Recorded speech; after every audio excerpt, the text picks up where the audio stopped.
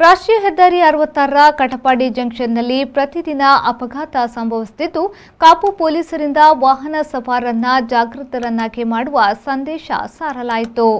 ರಾಷ್ಟ್ರೀಯ ಹೆದ್ದಾರಿ ಅರವತ್ತಾರರ ಕಟಪಾಡಿ ಜಂಕ್ಷನ್ನಲ್ಲಿ ಪ್ರತಿದಿನ ಅಪಘಾತ ಸಂಭವಿಸುತ್ತಿದ್ದು, ಕಾಪು ಪೊಲೀಸರಿಂದ ವಾಹನ ಸವಾರರನ್ನ ಜಾಗೃತರನ್ನಾಗಿ ಮಾಡುವ ಸಂದೇಶ ಸಾರಲಾಯಿತು. ಅಪಘಾತ ಸಂಭವಿಸಲು ವಾಹನ ಸವಾರರು ಸಂಚಾರ ನಿಯಮಗಳನ್ನು ಪಾಲಿಸದೇ ಇರುವುದು ಕಾರಣವಾಗಿದೆ.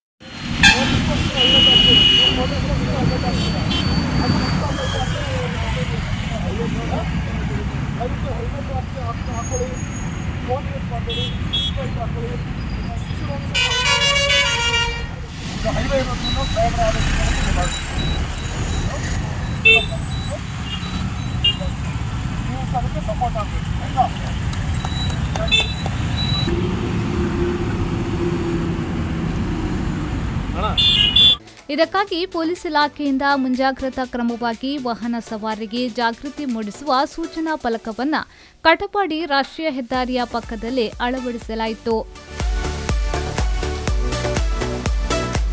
ಅಪರಾಧ ತಡೆ ಮಾಸಾಚರಣೆಯ ಪ್ರಯುಕ್ತ ಉಡುಪಿ ಜಿಲ್ಲಾ ಪೊಲೀಸ್ ವರಿಷ್ಠಾಧಿಕಾರಿಯವರ ಸೂಚನೆಯ ಮೇರೆಗೆ ಕಾರ್ಯಕ್ರಮವನ್ನು ಹಮ್ಮಿಕೊಳ್ಳಲಾಗಿದೆ.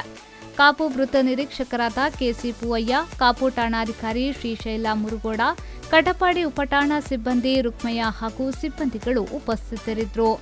ಪೊಲೀಸರ ಈ ಕಾರ್ಯಕ್ಕೆ ಸಾರ್ವಜನಿಕರು ಮೆಚ್ಚುಗೆ ವ್ಯಕ್ತಪಡಿಸಿದ್ರು. ಸುರೇಶ್ ಶರ್ಮಾಳ್ ವಿಫೋ ನ್ಯೂಸ್, ಪಡುಬಿದ್ರೆ.